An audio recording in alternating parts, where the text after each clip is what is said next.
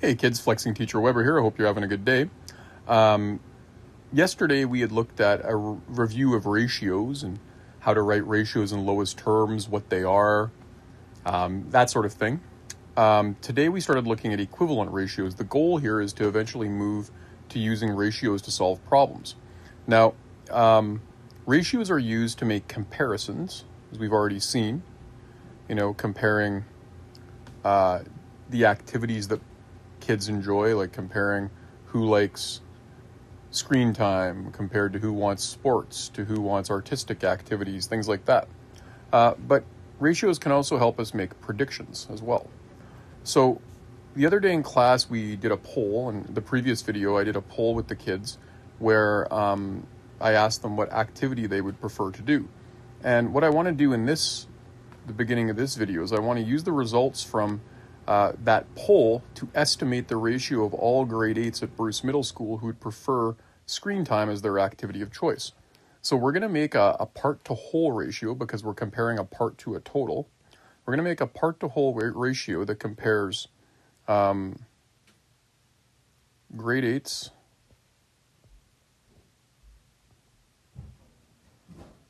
who prefer screen time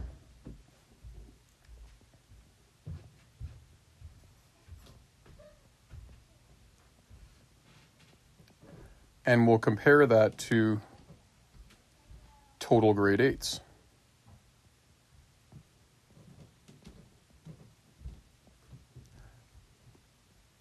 Okay, so what we found the other day with the poll I had done with the one class the other day, that out of 20 students, eight of them chose that they would prefer to do screen time.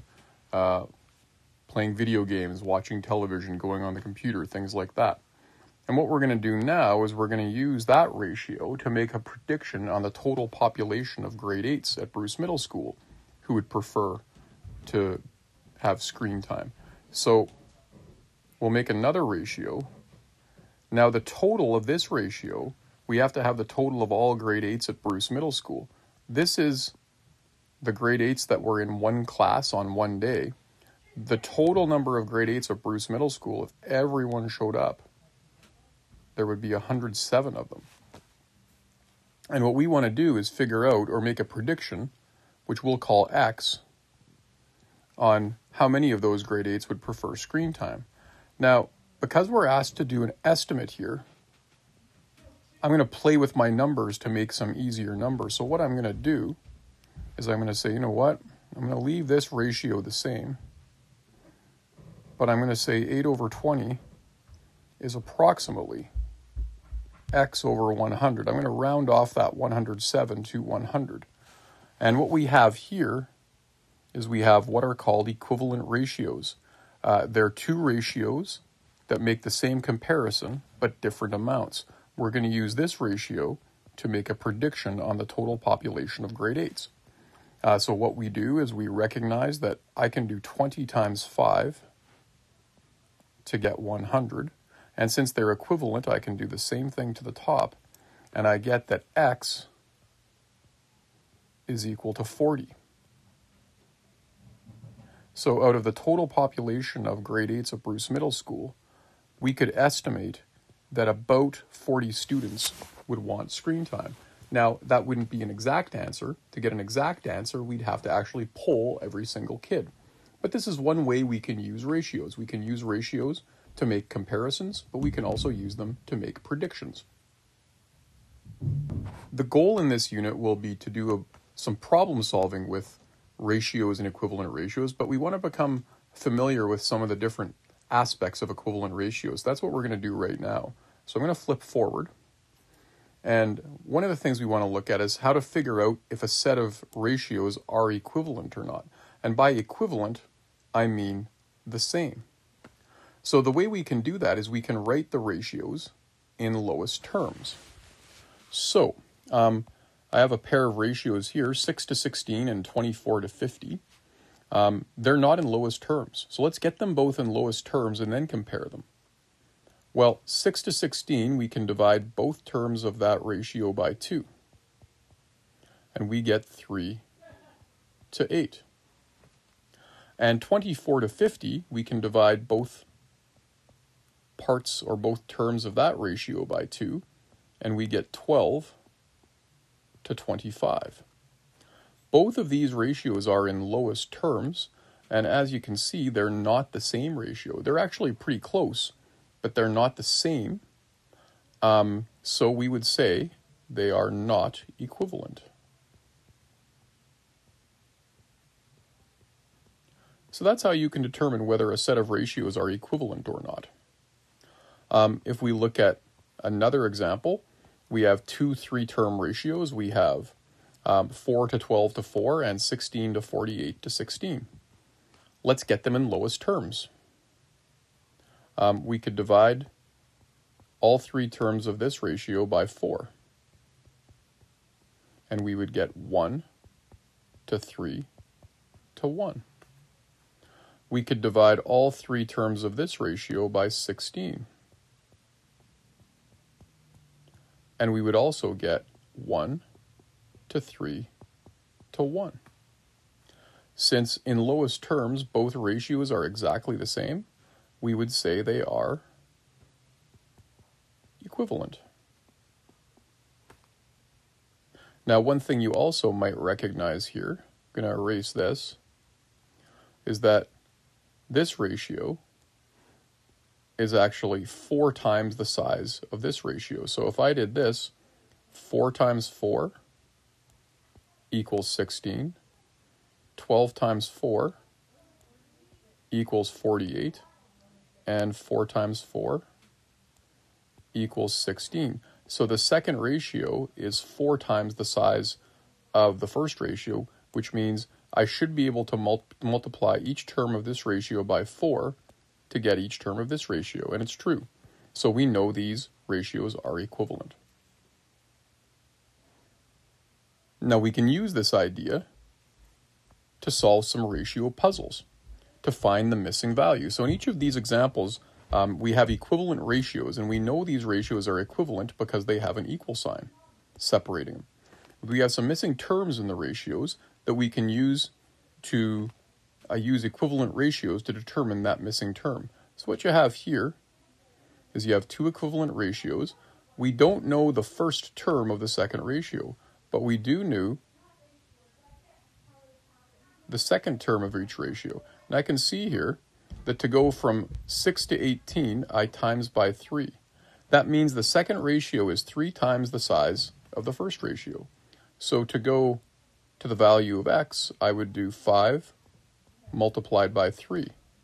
And that's going to give me 15. So we would say the value of x is 15.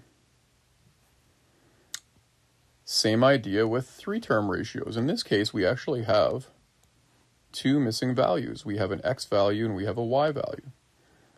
But what I can see here is that I have the third term of each ratio that has a numerical value, and that's the one that's going to help me to, to determine the size of the ratio, the comparison of the sizes.